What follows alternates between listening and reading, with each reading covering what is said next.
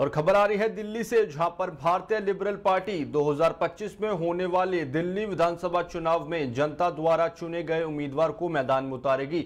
बता दें, party social election कराएगी, जिसमें लोग अपने पसंदीदा उम्मीदवार को वोट देंगे। सबसे ज़्यादा वोट पाने वाले उम्मीदवार को उस विधानसभा से पार्टी का टिकट दिया जाएगा। बता दें, भारतीय लिबरल पार्टी दिल्ली को एक मॉडल स्टेट के तौर पर विकसित कराने के लिए कटिबद्ध है। देखिए हमारे सहयोगी नीरज अवस्थी की रिपोर्ट। जनता ही लड़ेगी हम लड़ ही नहीं रहे क्योंकि एमएलए वो कैंडिडेट वो चुन के देगी। तो सत्तर सीटों पे चुनाव लड़वाना सत्तर सीटों पे चुनावों के लिए कैंडिडेट देना और चुनाव लड़वाना उनकी ज़िम्मेदारी जनता की। सर, उसके बाद। सर, आपकी विचारधारा और केजरीवाल जी की विचारधारा में सिग्नेचर अथॉरिटी नहीं है। वही आप कह रहे हैं कि हम कोई जो ऊपर के जो नहीं सीएम कोई तो बनेगा वो वो फाइलें साइन करेगा। मैं स्वयं सीएम नहीं सीएम नहीं बनना चाहता मैं ये कहना चाहता हूँ इट डज नॉट मीन कि हम डिसीज़न लेंगे। सत्तर विधायकों में से एक सीएम भी बनेगा।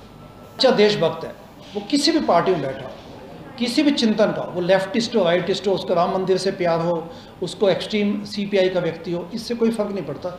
देश का नागरिक जो चाहता है कि वास्तव में करप्शन खत्म हो अकाउंटेबिलिटी आए, एवं अच्छे ढंग से राज किया जा सके, देश में एक अच्छी, एक विकास की राजनीति हो, उसका स्वागत है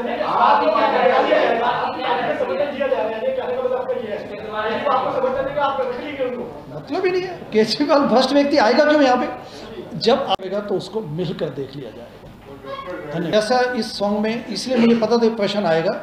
हमारी आइडियोलॉजी है भ्रष्टाचार मुक्त भारत एवं गुड गवर्नेंस हम सेंटर टू राइट भी नहीं है सेंटर टू लेफ़्ट तो बिल्कुल भी नहीं है।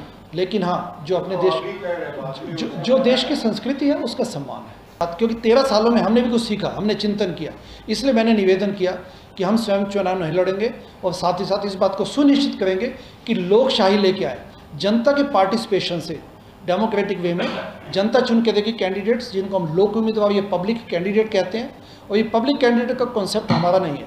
ये लोक अ, लोकनायक जेपी ने भी कहा था उससे पहले भी जैसा पार्टीलेस डेमोक्रेसी के जो चिंतक हैं उन लोगों ने भी इस उस बात की परिकल्पना की है मतदाता परिषद बनाई जाए और पिरामिड को बदलने का समय आ चुका है लोकनायक जेपी ने कहा था सबसे बड़ा ये चुनाव है आप कैसे कर सकते हैं किसी किसी को तो